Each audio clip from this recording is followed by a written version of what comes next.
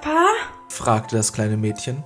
Ihre Augen wurden groß, als sie zu dem großen Druiden aufblickte, der regungslos vor ihr stand. Nun, laut der Anleitung, die Anderson uns gegeben hat, heißt seine vorprogrammierte Persönlichkeit Hector. Aber wir können ihn nennen, wie wir wollen, Süße. Antwortete James, als er das Haar seiner Tochter zerzauste. Was bedeutet Hector? fragte sie, als sie sich von der Hand ihres Vaters befreite. Er war ein großer Krieger, ein Verteidiger der Stadt Troja. Ist er auch ein großer Krieger? Das sollte er besser sein, nachdem er sich für ihn bezahlt habe. James kicherte. Dann will ich ihn auch Hector nennen. Natürlich, Schatz, sagte James mit einem kleinen Lächeln. PRHD Nummer 31. Von diesem Moment an sollst du auf den Namen Hector hören. Hast du verstanden? Der Droide nickte. Es sah dann nach unten, als das kleine Mädchen seine Hand ergriff. Kann ich jetzt mit Hector spielen, Papa? fragte sie. Ihr Grinsen lief von Ohr zu Ohr, als sie anfing, an dem Droiden zu ziehen. Natürlich kannst du das, antwortete James. Wann immer Papa Hector nicht benutzt, könnt ihr beide zusammen spielen, so viel ihr wollt. Es wird immer für dich da sein, Sarah. Immer. Sein Name war Dr. Zachary Johnson und das Büro, in dem er die letzten 35 Jahre gearbeitet hatte, war nun leer, abgesehen von den Möbeln, die er von der Foundation erhalten hatte.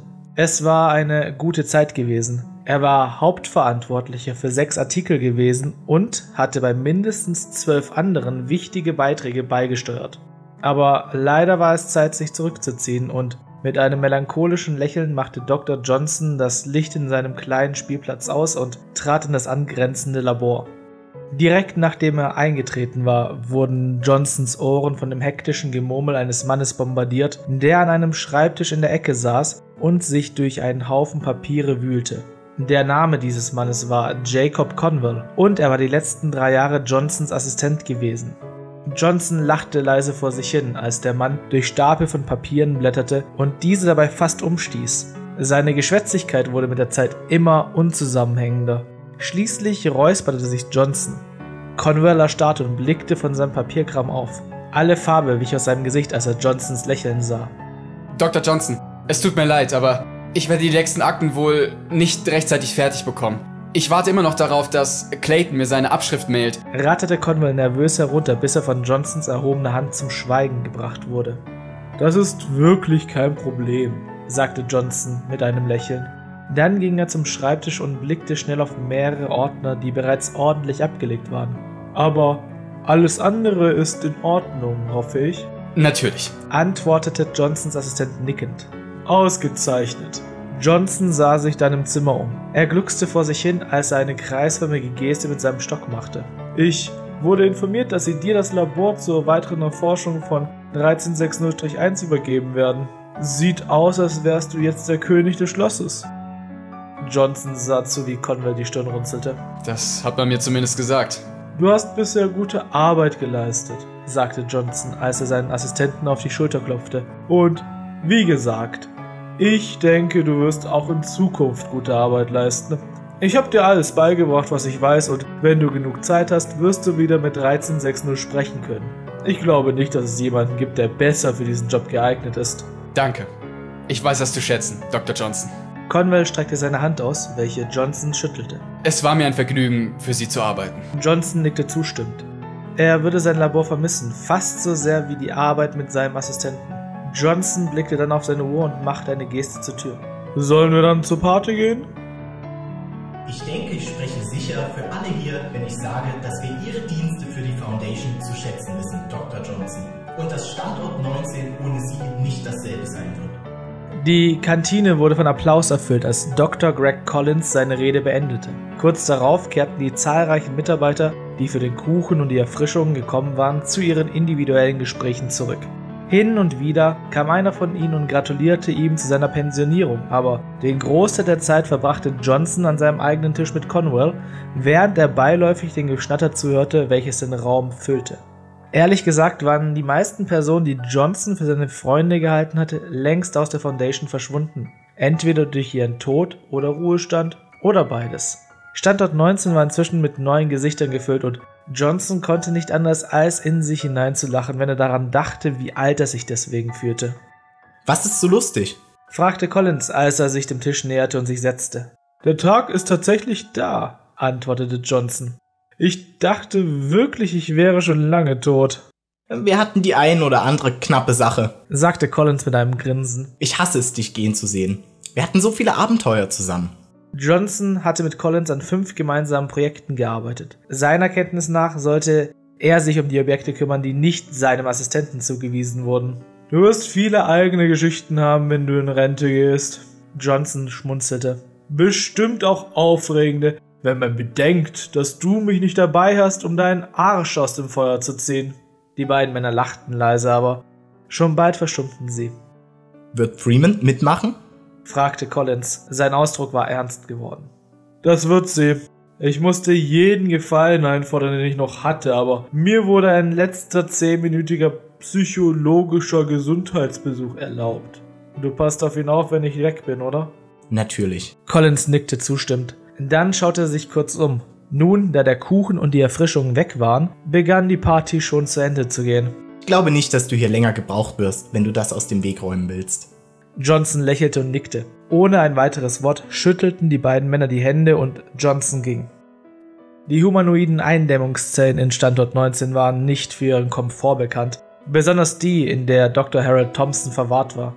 Vier graue Wände, eine Pritsche, ein Waschbecken, eine Toilette und das Wissen, dass dich jemand von der anderen Seite eines Einwegspiegels beobachtet, der in der Wand bei der Tür eingebettet ist.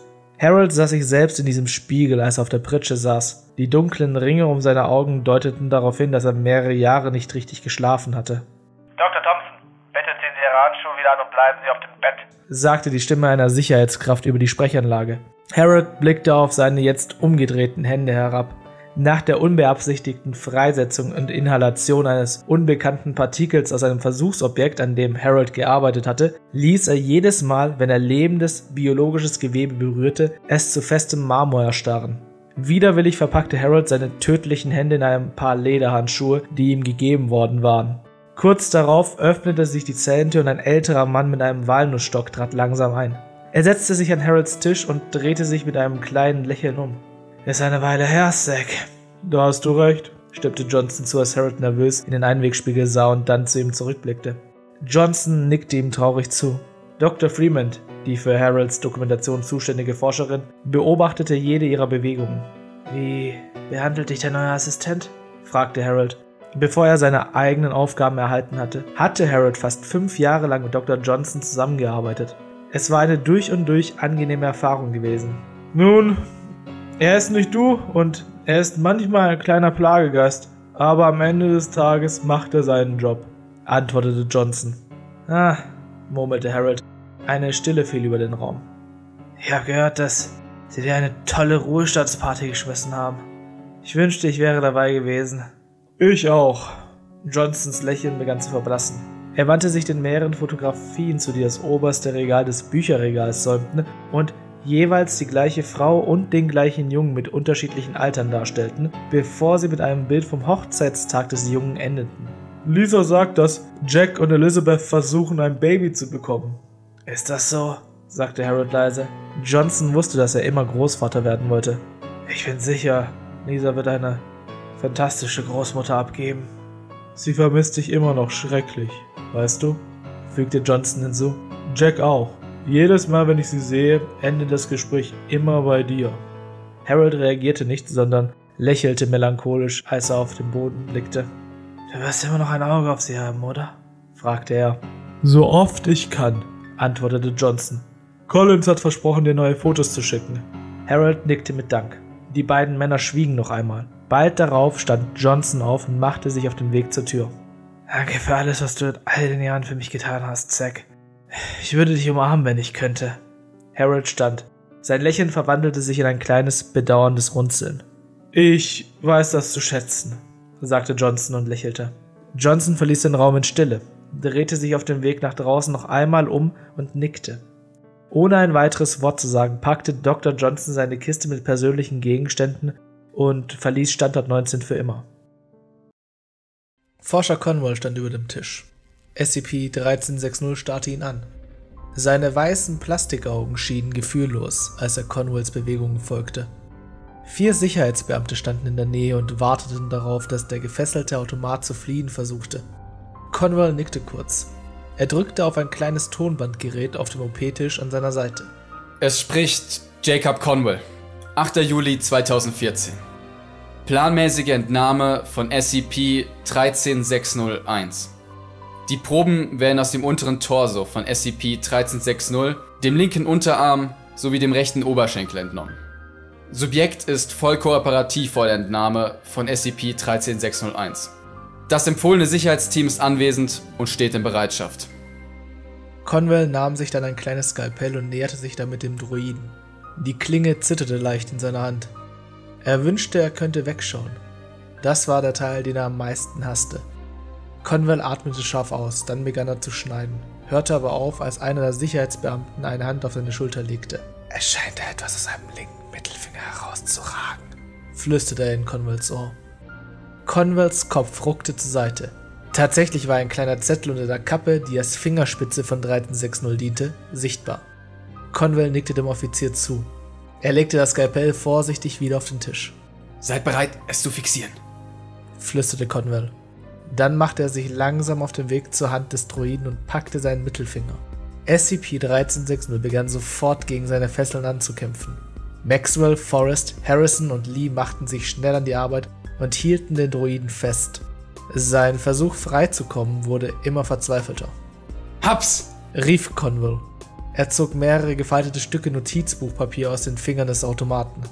Der Droide versuchte nur mit aller Kraft sich zu befreien. Seine Bewegungen eskalierten in zu heftigen Prügeleien. 1360s Augen blieben auf Conwell gerichtet, dass dieser schnell das Tonbandgerät ergriff und zur Tür floh. Haltet es fest, bis es sich beruhigt hat. Stellt sicher, dass ihr, bevor ihr den Raum verlasst, sein Notizbuch und seine Stifte konfisziert. Die vier Wachen grummelten zustimmend. Jede Unze ihrer Konzentration war darauf gerichtet, den Droiden daran zu hindern, sich zu befreien. Conwell blickte zurück, als er in den Flur trat. Der ständige Blick des Druiden brach erst, als sich die Eindämmungstür schloss. Conwell seufzte schwer, als er auf die zahlreichen Blätter Papier starrte, die auf dem Schreibtisch vor ihm lagen. Jedes war zerknittert und stark abgenutzt, scheinbar mehrmals gefaltet und entfaltet. SCP-1360 hatte einen immensen Versuch unternommen, um Conwell davon abzuhalten, sie wegzunehmen, aber jetzt, da er sehen konnte, worum es bei dem ganzen Wirbel ging, konnte er nicht anders als sich enttäuscht zu fühlen. Auf jedem der Zettel befand sich eine kleine Skizze. Das erste Bild zeigte eine unglaublich detaillierte Darstellung von 1360 beim Rennen. Sogar das Netzmuster der Stoffhaut des Droiden war sichtbar.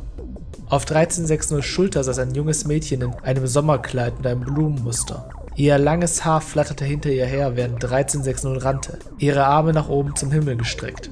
Ihr Gesicht war jedoch völlig leer. Keine Nase, keine Augen oder Mund, nur leeres Papier. Eine zweite Zeichnung zeigte 1360 beim Händeschütteln mit einem Mann im Anzug.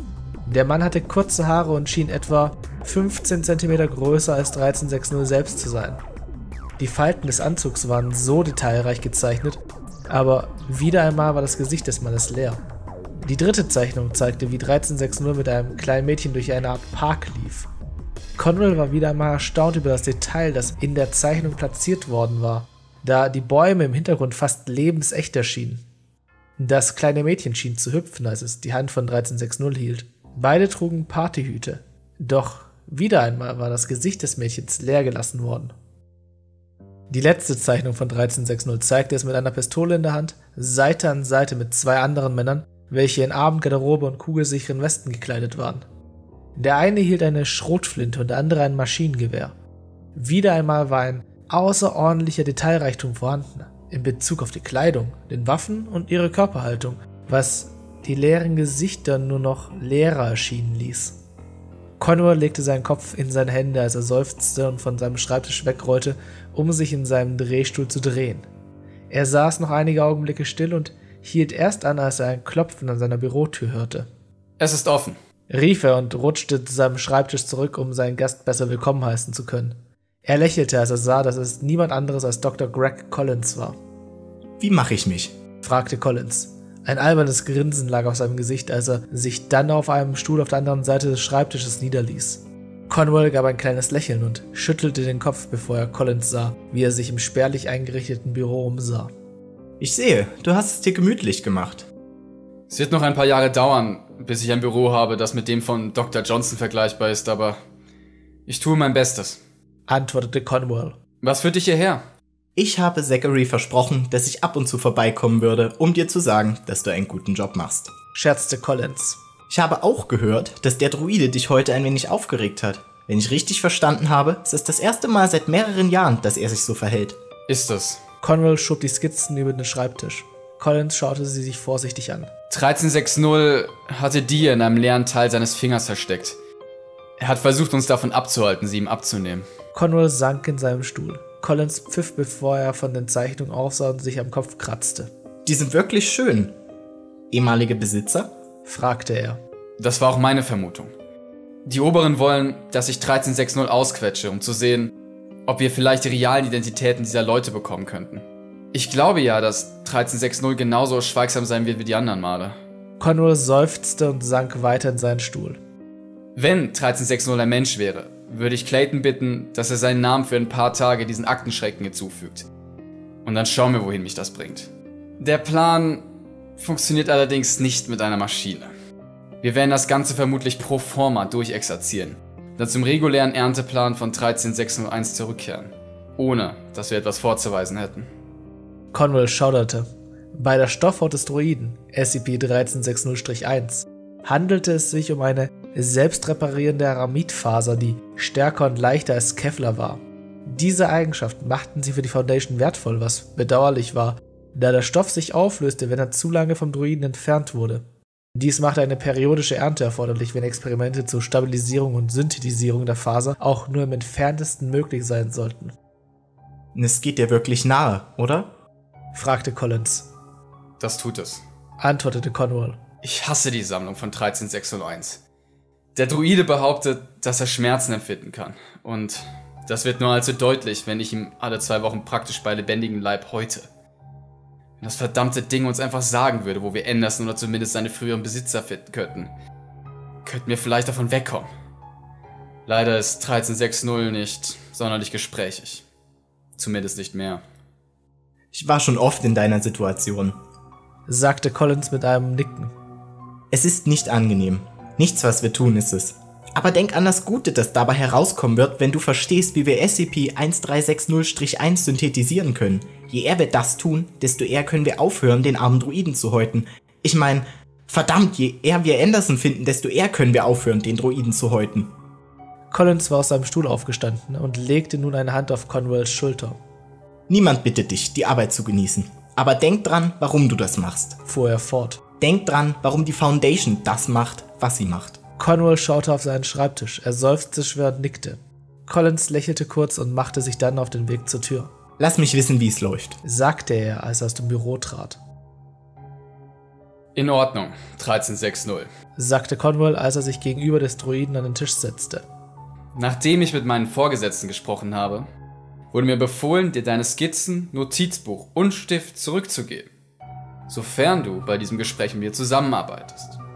Zusammenarbeit bedeutet, dass du alle meine Fragen beantwortest. Was sagst du dazu? SCP-1360 schaute auf den Tisch. Conwell hatte einen kleinen Notizblock und einen Stift vor sich platziert. Die gleichen vier Sicherheitsbeamten standen in der Nähe und warteten alle darauf, dass der Droide einen Zug machte. Der Raum blieb für einige Augenblicke still, aber schließlich nahm SCP-1360 den Stift und begann zu schreiben. Okay. Ausgezeichnet, lächelte Conwell. Dann legte er die Zeichnung von 1360 auf den Tisch vor ihm, gerade so weit weg, dass er sie nicht greifen konnte, falls sich der Druide dafür entscheiden sollte, sie zu zerstören. Zuerst musst du mir ein paar Theorien über deine Zeichnungen bestätigen. Es handelt sich um die Darstellungen von dir mit deinen Vorbesitzern, James und seiner Tochter, nicht wahr? Das sind sie. Das dachte ich mir. Das bringt mich zu meiner nächsten Frage. Warum warst du so verzweifelt, sie zurückzubekommen, als wir sie entdeckt haben? Warum hast du dich so gewehrt? Ich dachte nicht, dass ihr sie mir zurückgeben würdet. Äh, selbst wenn wir es nicht getan hätten, hättest du nicht warten können, bis wir dir Stift und Papier zurückgeben, um sie einfach nochmal zu zeichnen? Ich wusste nicht, ob ich die Zeit dafür haben würde. Was meinst du damit?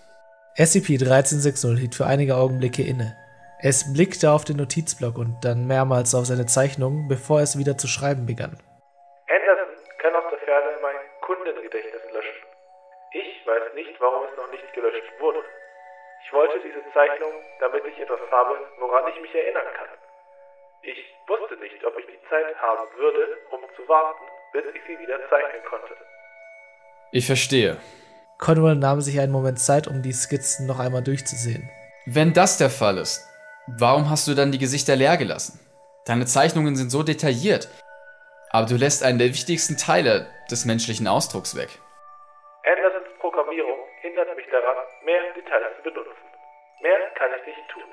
Es könnte jetzt bereits zu viel sein. Conwell seufzte. Es schien nicht möglich, so an weitere Informationen über James' Identität oder Hilfe zur Suche nach Anderson zu kommen. Andersons Weitsicht erwies sich wieder einmal als siegreich. Conwell stand dann von seinem Stuhl auf und schob die Zeichnungen den Rest des Weges in Richtung 1360. Der Droide sah ihn an, unbewegt, als würde er auf eine Falle warten. Das ist alles, was wir gebraucht haben, 1360. Nimm dir deine Zeichnungen. Du kriegst auch bald dein Notizbuch und Stift wieder. sagte er, während er anfing, seine Notizen zu nehmen.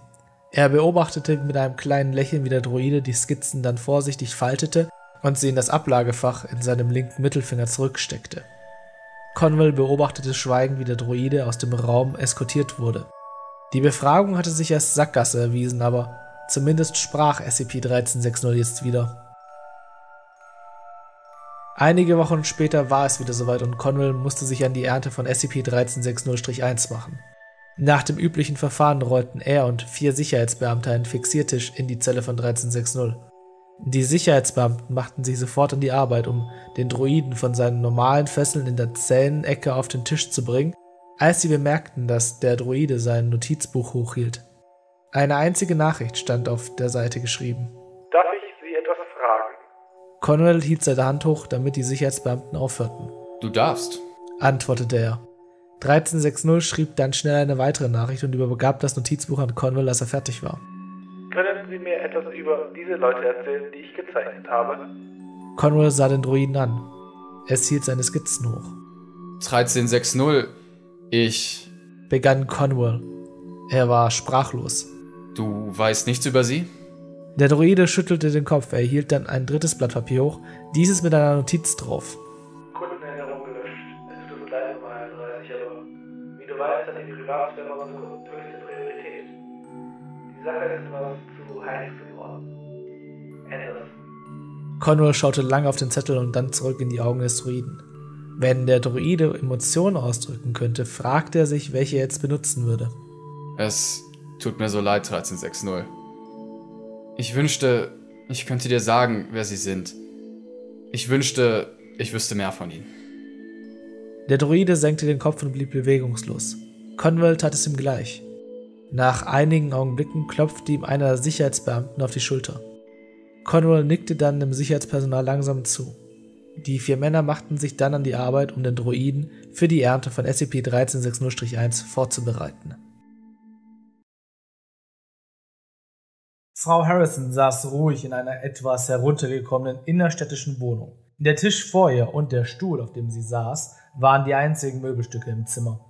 Direkt gegenüber von ihr waren vier Objekte unter schwarzen Tüchern verborgen. Harrison strich sich eine brünette Haarlocke aus den Augen und seufzte, als sie sich auf ihre Hand lehnte.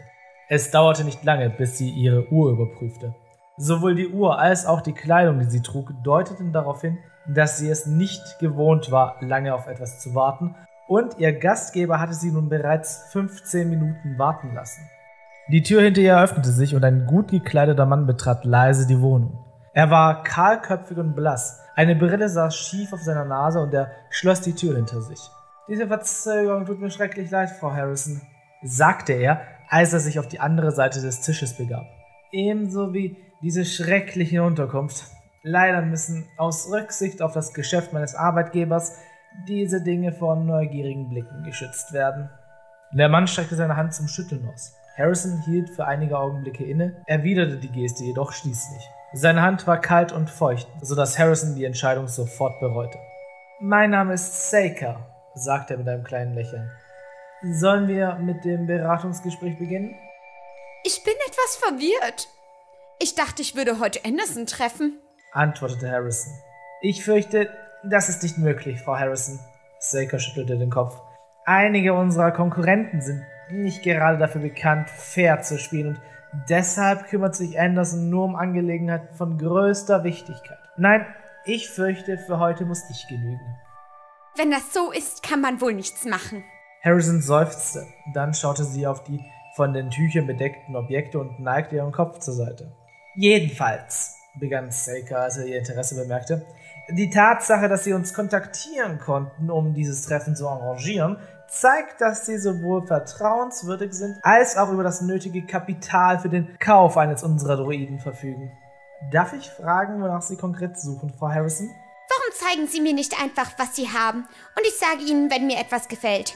Sehr gern, antwortete Saker mit einem Achselzucken. Dann griff er in seine Tasche und legte was wie drei kleine schwarze Gummibälle mit je einem roten Punkt in der Mitte aussah, auf den Tisch. Die Bälle drehten sich schnell von alleine, sodass die roten Punkte in Harrisons Richtung zeigten. Bei diesen kleinen Kerlen handelt es sich um unsere Aufklärungsdrohnen der Amor-Reihe. Sie sind eine Art Spionageroboter. Saker schnippte mit den Fingern. Die Bälle begannen daraufhin, sich wieder zu drehen. Amor-Reihe Demo. Jede der Kugeln begann dann auf dem Tisch herumzurollen und stoppte hin und wieder. Ein Satz von vier nadelförmigen Beinen erschien dann, sodass sie für einen kurzen Moment umherkrabbelten, bevor sich diese Extremitäten wieder zurückzogen und die Kugeln wieder zu rollen begannen. Jeder dieser Jungs ist in der Lage, bis zu 48 Stunden Video- und Audioaufnahmen zu machen. Sie können ihre Farbe ändern, um sich ihrer Umgebung anzupassen und haben die Fähigkeit, glatte Oberflächen hochzuklettern. Jeder verfügt über eine kleine Nadel für die Injektion von Medikamenten oder, falls gewünscht, von etwas ein wenig tödlicherem. Sie sind einzeln oder im Dreierpack erhältlich. Jeder ist so programmierbar, dass er nur dem Befehl ihrer Stimme folgt, wie es bei allen unseren Modellen Standard ist. Harrison sah zu, wie eine Drohne zu ihr rollte und auf ihre Hand kroch. Sie legte den Miniaturdroiden mit einem Lächeln vorsichtig wieder auf den Tisch. Erstaunlich, aber nicht wirklich das, wonach ich suche. sagte sie. Saker nickte und sammelte die drei Droiden wieder ein. Dann näherte er sich zwei der abgedeckten Objekte und stand zwischen ihnen, als er die Abdeckung herunterzog. Das Gerät auf seiner linken Seite war nicht höher als etwa 60 cm und glich einer großen schwarzen Vase mit Deckel. Vier dicke, spinnenartige Beine fuhren aus seiner Unterseite, während es aufstand und erhöhten seine Größe um einen Meter. In der Mitte des Apparats leuchtete ein schmaler roter Ring. Die Seitenwände öffneten sich und enthüllten vier Gewehrläufe. Das Gerät zu seiner Rechten glich einem kleinen Düsenflugzeug, etwa zwei Drittel Meter lang und eine Flügelspannweite von einem Drittel Meter. In der Mitte jedes Flügels befand sich ein Rotor, der Harrison an einen Hubschrauber erinnerte. Die Rotoren begannen sich leise zu drehen, als der Droide zu schweben begann. Eine kleine Kamera tauchte aus einem Panel auf der Unterseite des Droiden auf und fokussierte sich auf Harrison, während der Rest des Droiden in der Luft schwebte.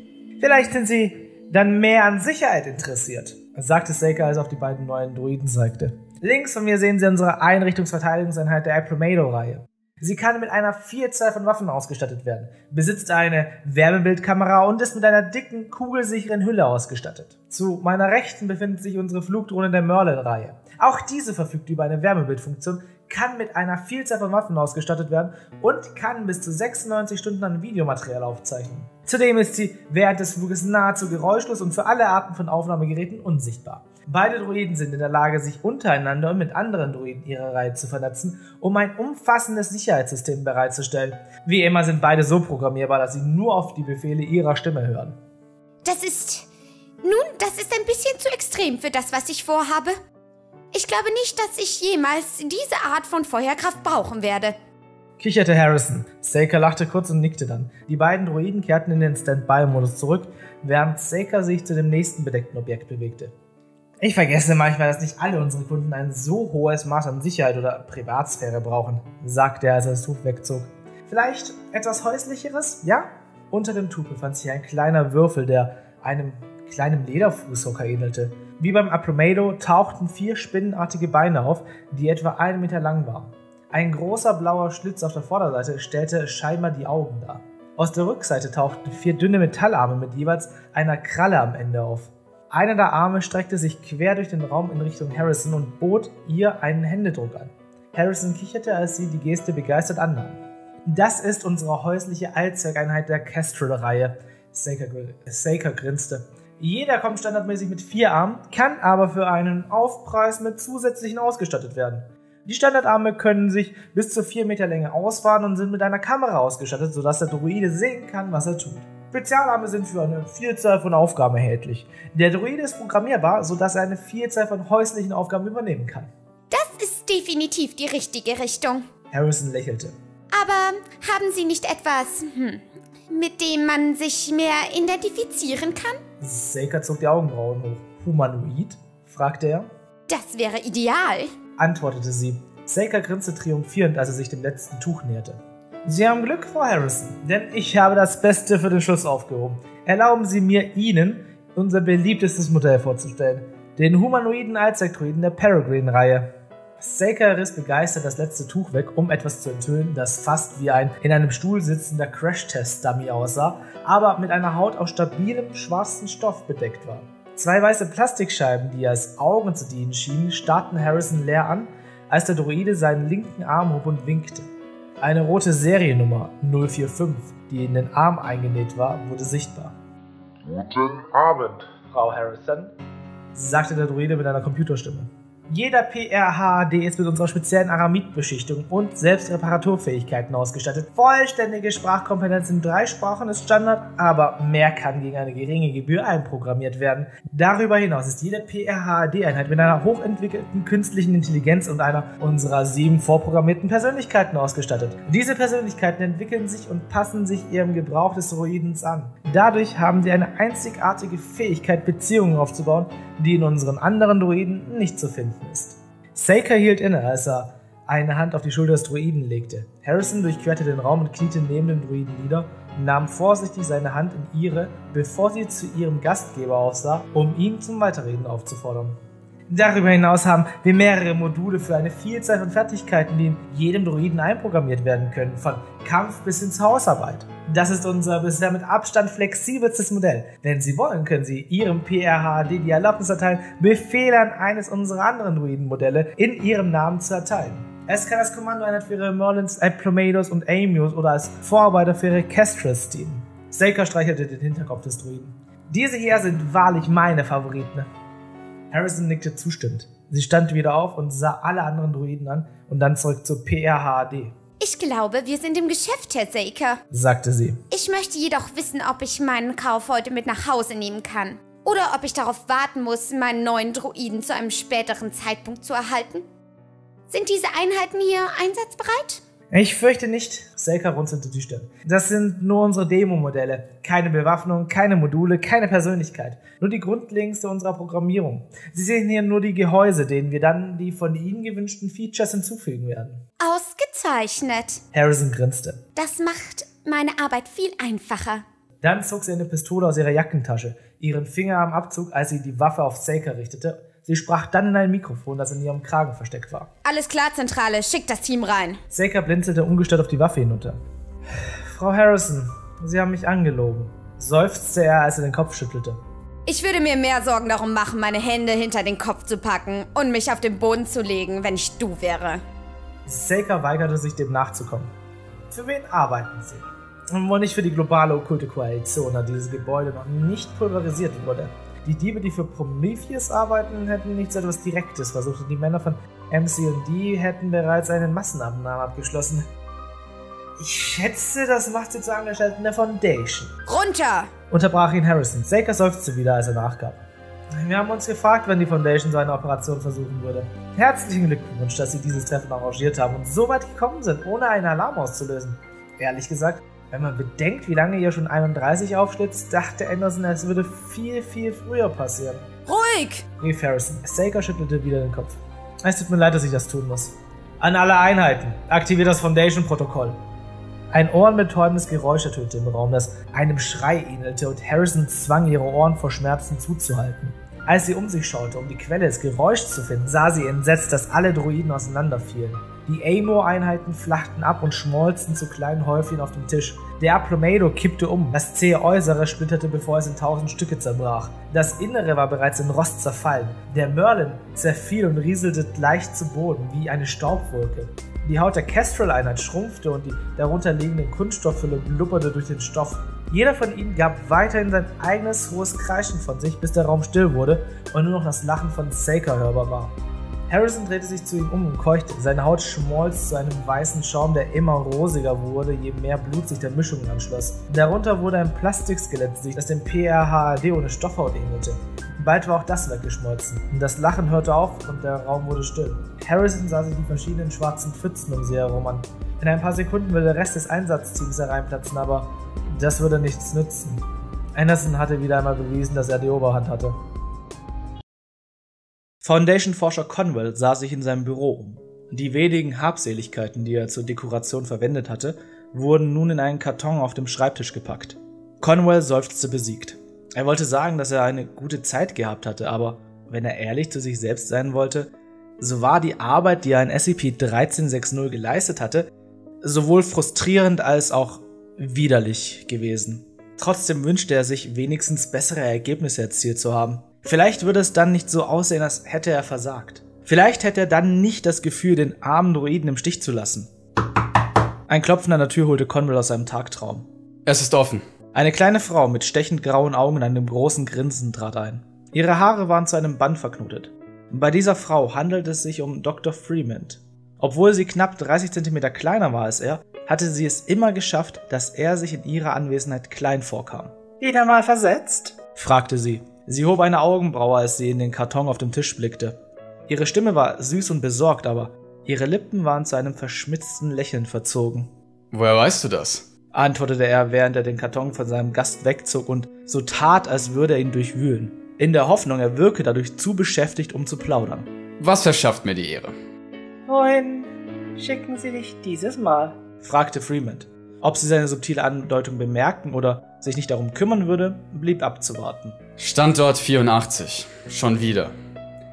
Was willst du, Fremont? Dr. Thompson bat darum, dich zu sehen. Ich schätze, ich habe Glück, dass ich dich jetzt erwischt habe, bevor sie dich in den Pazifik verschifft haben. Freeman kicherte. Conwells Mund hing etwas offen, als er versuchte zu verarbeiten, wie sie so taktlos sein konnte. Warum? fragte Conwell. Er hatte von dem armen Dr. Harold Thompson gehört, als er mit Dr. Johnson zusammengearbeitet hatte. Er hatte ihn sogar einmal persönlich getroffen. Freeman antwortete mit einem großen Achselzucken. Das würde ich ja auch gerne wissen. Er war in der letzten Woche sehr beharrlich, dich zu sehen. Ich dachte, dass Dr. Collins mit ihm in Kontakt. Conwell hielt inne, als Freeman scharf auflachte. Greg hat Harold nicht mehr besucht, seit Johnson gegangen ist. Wie auch immer. Er steht vor einem weiteren psychologischen Gesundheitscheck, also dachte ich, ich tue ihm einen Gefallen mit dir. Kann ich ihm ausrichten, dass du vorbeikommst? Conwell seufzte und legte den Kopf in seine Hände, bevor er sie sein Gesicht hinunterzog. Wenn Freeman die Wahrheit sagte, so war Dr. Thompson seit fast drei Jahren nicht mehr besucht worden und näherte sich wahrscheinlich mental dem Ende der Fahnenstange. Ich fürchte, ich muss einen Flug erwischen und habe noch ein paar eigene Meetings zu erledigen, bevor ich fliege. Es tut mir leid. Ich wünschte, ich könnte. Das tue ich wirklich, aber ich kann einfach nicht. Sagte er, als er den Kopf schüttelte. Freeman zuckte mit den Achseln. Hey, du enttäuscht ihn, nicht mich. Viel Glück im Sackgarten. Conwell senkte seinen Kopf und wartete darauf, dass Freeman ging. Die Tür schlug hinter ihr zu.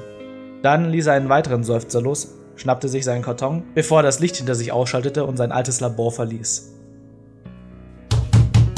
Er wartete nicht auf die Erlaubnis zum Eintreten, sondern entschied sich, die Tür leise zu öffnen und den Raum zu betreten. Das Büro selbst war makellos. Viel Voraussicht scheint in die Platzierung von allem geflossen zu sein.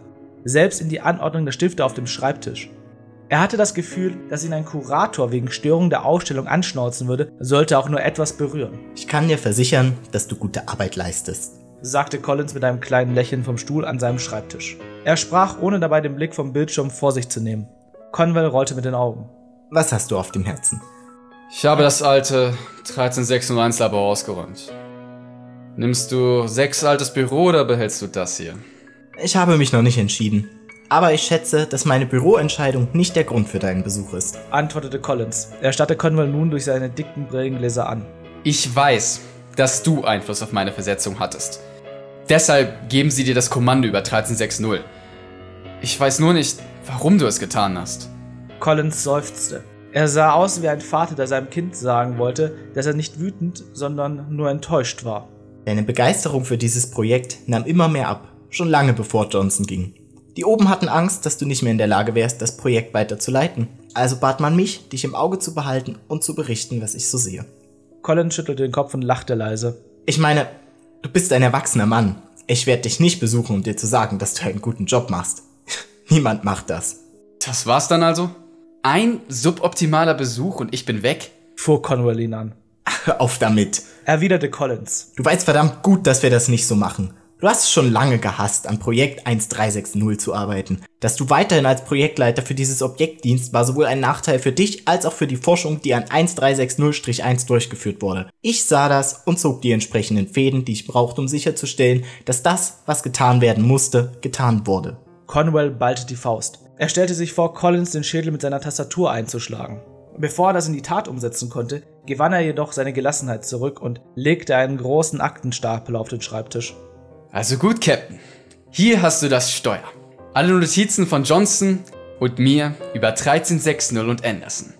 Einschließlich der Abschrift der gescheiterten Razzia letzte Woche und alle bekannten Informationen über Andersons Modelle. Conwell machte sich auf den Weg zur Tür, stoppte aber, als Collins sagte, Hör zu, Jacob.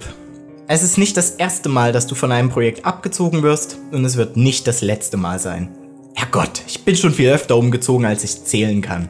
Wichtig ist, dass du dich daran erinnerst, dass diese Entscheidungen aus einem bestimmten Grund von der Obrigkeit getroffen werden. Wichtig ist, dass wir weitermachen können. Bitte lass das in Zukunft nicht zwischen uns kommen. Insgesamt hast du eine gute Arbeit geleistet. Conwell blieb in der Tür stehen und schüttelte den Kopf. Dr. Freeman hat mich heute Morgen besucht. Harold wollte mich sehen.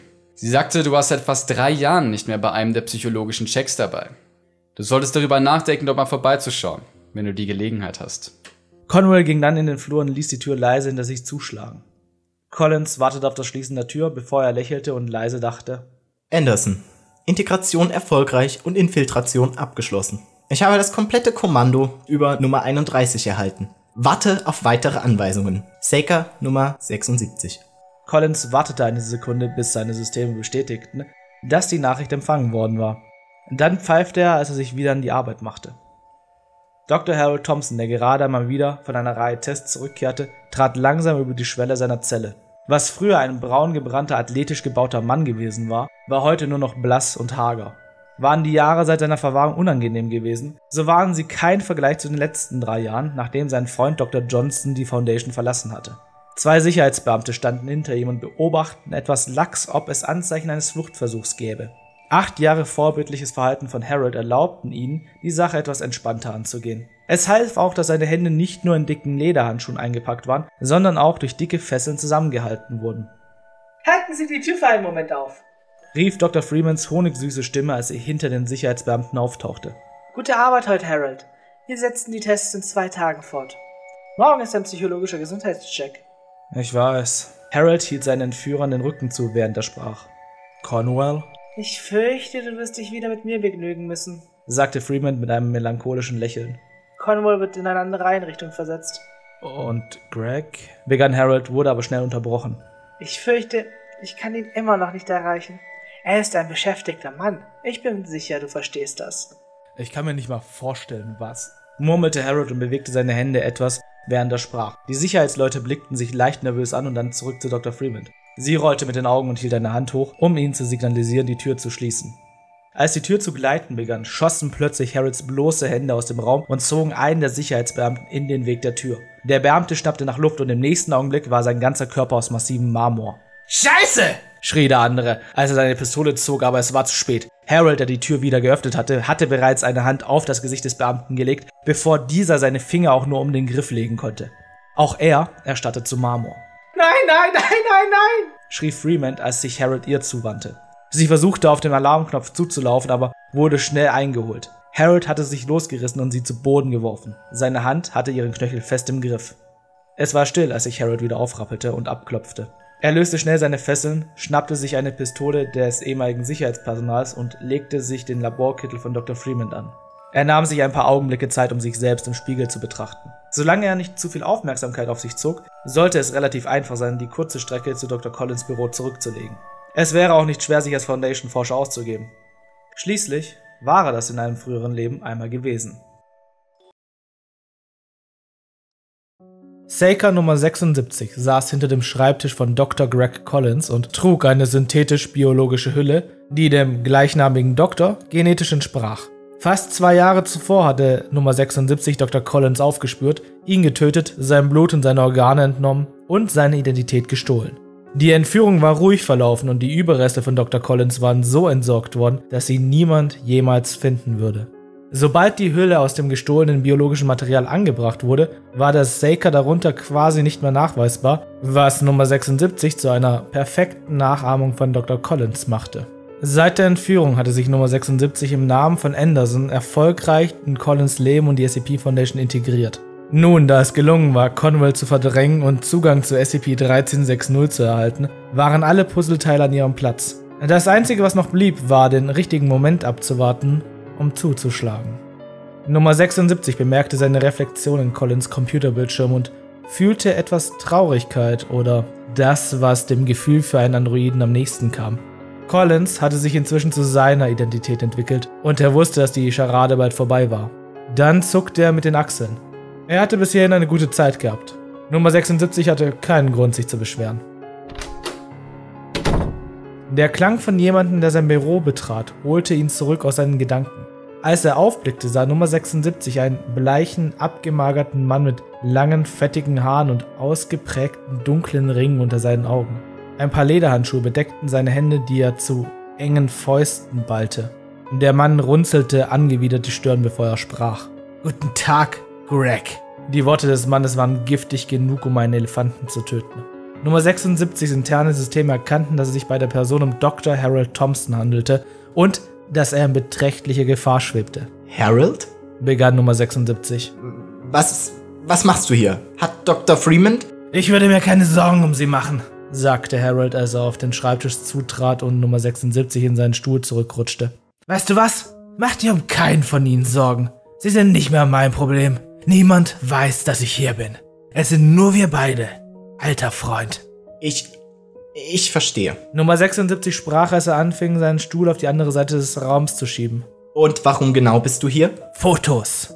Wie bitte? Fotos, verdammt! schrie Harold. Vor zwei Jahren, als Johnson ging, sagte er, er würde dir Fotos schicken. Fotos von Jack und Elizabeth. Fotos von Lisa. An diesem Punkt begann Harold um den Tisch herumzugehen. Er sagte, du würdest vorbeikommen und sie mir geben. Er sagte, du würdest mich besuchen. Harold schlug mit der Faust auf den Schreibtisch. Aber du, du bist nie vorbeigekommen, Greg. Ich habe drei Jahre gewartet und du bist nicht gekommen. Drei Jahre. Und das einzige Gesicht, das ich sah, war diese eiskalte Schlampe Freeman. Aber jetzt bin ich hier. Wo sind die Fotos, Greg? Nummer 76 konnte sich nicht weiter zurückziehen. Sein Stuhl berührte die Rückwand und er versuchte nun in der Polsterung zu verschwinden. Harold, es tut mir leid, dass ich dich nicht besucht habe. Aber du musst doch einsehen, dass sich die Gelegenheit nie ergeben hat. Gott, du warst selbst einmal ein Forscher. Zum Teufel, wir haben zusammen an Projekten gearbeitet. Du weißt, wie diese Dinge sind. Nummer 76 blieb stehen, als er zusah, wie Harold einen seiner Handschuhe auszog. Wo sind sie? knurrte er. Harold. Zachary Johnson starb vor anderthalb Jahren. Glioblastoma multiforme. Das war der Grund für seine Pensionierung. Er wollte die letzten Monate seines Lebens in Frieden leben.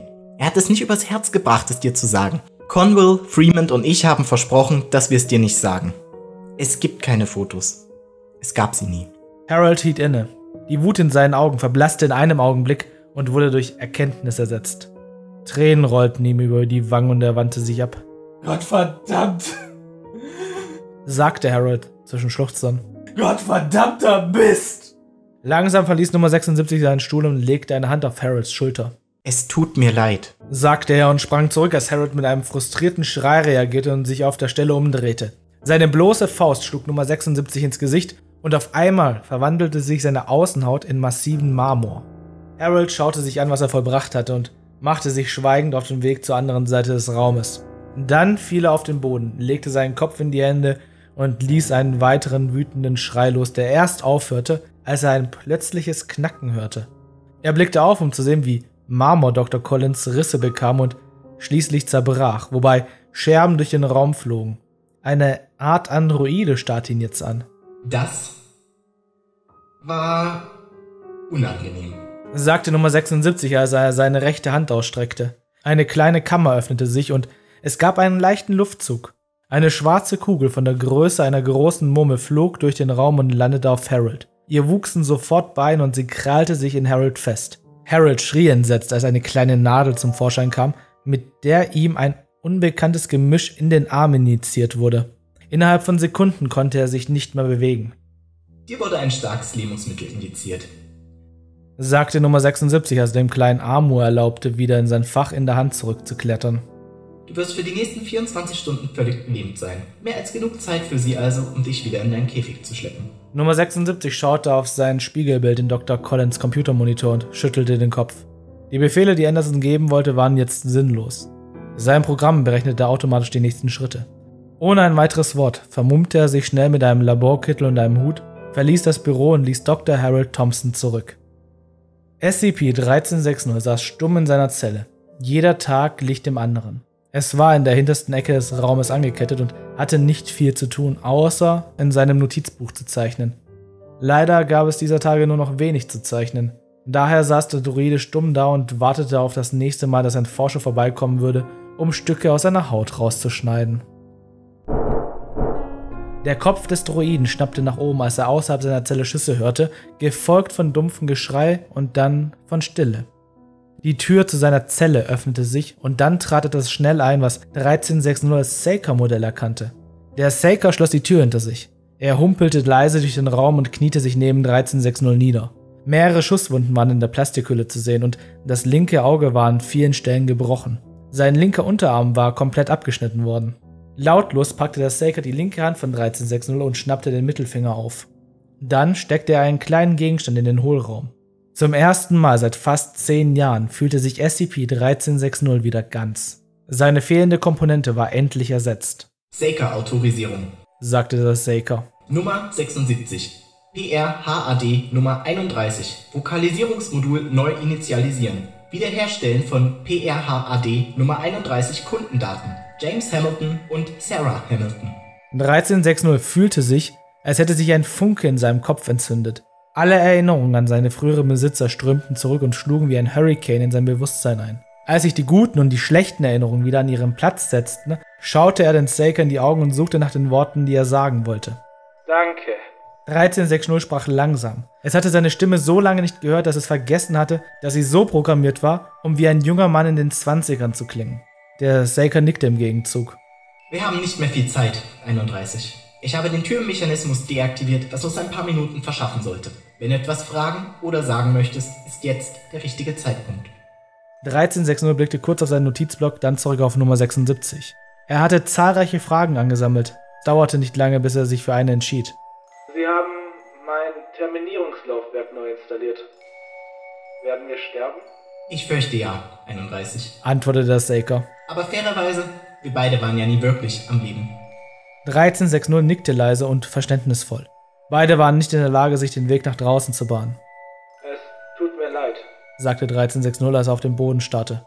Ich bin ein Versager. Ich habe Anderson nicht als Kummer bereitet. Ich hätte schon vor Jahren eliminiert werden sollen, aber sie haben mein Terminierungslaufwerk entfernt, als ich sie verloren habe. Es tut mir leid. Ja, du hast versagt. Und ja, du hast Anderson Ärger gemacht. Aber es ist in Ordnung 31. Anderson gibt dir keine Schuld. Sie haben dir zugeschaut. Sie wissen, dass es nicht deine Schuld war, dass dein Terminierungslaufwerk entfernt wurde oder dass du deine letzten Kunden verloren hast. Bitte betrachte dich als von allem freigesprochen. Jetzt kam ein lautes Klopfen von der Tür. Das Personal der Foundation versuchte in die Zelle einzudringen. Sollen wir dann? fragte Nummer 76. Der Peregrine nickte und streckte seine Hand aus, die die der Saker-Einheit fest umklammerte. Also gut. Aktiviere Foundation-Protokoll. Forscher Conwell stand ungeduldig vor der Zelle von SCP-1360. Nach seiner Versetzung hatte es nicht nur einen Verstoß der Verwahrung gegeben, sondern auch eine Infiltration von Standort 19. Aufgrund der Tatsache, dass SCP-1360 in beide verwickelt war, ist er festgenommen worden, um in der Situation auszuhelfen, nachdem alles wieder unter Kontrolle gebracht worden war. Conwell schloss die Augen und rieb sich seine Schläfen, als er sich gegen die Wand lehnte. Der Tag wurde immer besser und besser. Du kannst jetzt rein, Conwell blickte auf und sah Jürgen Crane in den Überresten der Zellentür stehen. Der Eindringling hatte den Mechanismus deaktiviert und die Tür verriegelt. Der Sicherheitsdienst hatte fast 30 Minuten gebraucht, um sie wieder zu öffnen, Agent Crane, sagte Conwell, als er einen Händedruck anbot. Sie haben dich zum Chef des Einsatzkommandos gemacht? Crane akzeptierte mit einem Grinsen. Bitte, nenn mich Jürgen. Aber ja, das bin ich. Dein Droide hat eine kleine Störung verursacht. Conwell nickte und folgte dem Agenten langsam nach innen.